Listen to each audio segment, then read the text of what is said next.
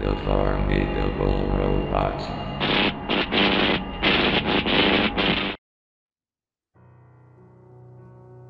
Hello, this is Sedgwick, Sedgwick Williamsburg. I'm the international translator of the ARG files and a good friend of Thomas Arkford. In the international ARG files, we look at rather international ARGs or ARGs with international languages. Today, Thomas tasked me with looking into the ARG from SpongeBob SquarePants, The Secret Box. The ARG, made by Cyclone Stove Oven or Owen Wayne, the original ARG creator, was a psychological analog horror series detailing the question from SpongeBob. What would have happened if the box from the secret box was something more secretly sinister? It was answered when a series of VHS tapes were discovered and delivered in our facility. The tapes were marked with quotes from the episode. No SpongeBob. It's for me to know and for you to never find out. You may be an open book SpongeBob, but I'm a bit more complicated than that. The inner machinations of my mind are an enigma. Listen up, SpongeBob Secret Stealer Pants. If you ever come near my secret box again, we won't be friends anymore. That's it, SpongeBob. You have crossed the line. As of right now, this friendship is over. The quotes were from the episode, The Secret Box, which fit the theme of the ARG. But why did he put the quotes in? Why was the tape made, and did the creator purposefully make it multiple tapes? I had to learn more. I had to dig deeper into this cesspool of the ARG rabbit hole. Had to find out more, connect the pieces and find out more.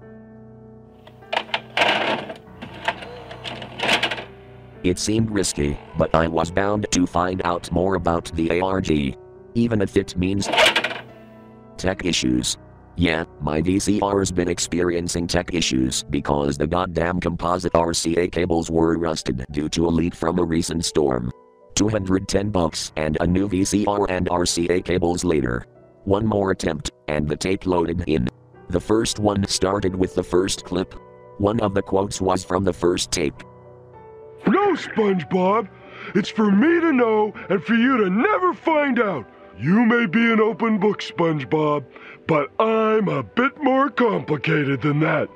The inner machinations of my mind are an enigma.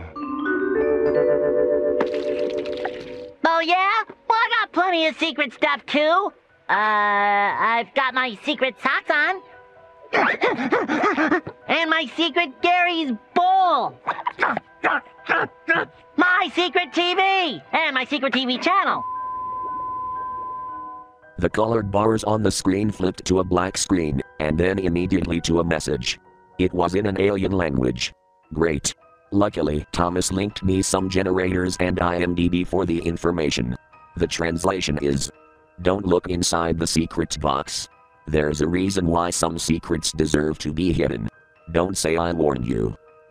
Then another message in the same alien language appears with the sound of static. I didn't bother translating the second one.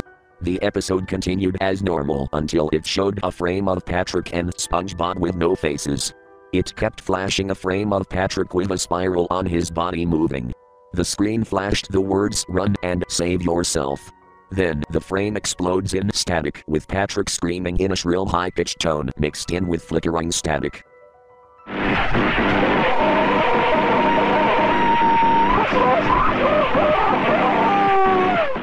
It reminds me of when Thomas looked at that other ARG that had SpongeBob do the exact same as Patrick's doing. Suddenly, the power cut off. Everyone in the facility came out and inspected the generator. I could faintly hear my British boss, Maximus Winston, say to the people, It looks like someone electrocuted the generator. It'll take weeks for the studio to get power back. Well, this is gonna be split in parts due to the internet being off. I'll catch back when the internet comes back and look at the second, third, fourth, and possibly fifth tape. We're just getting started.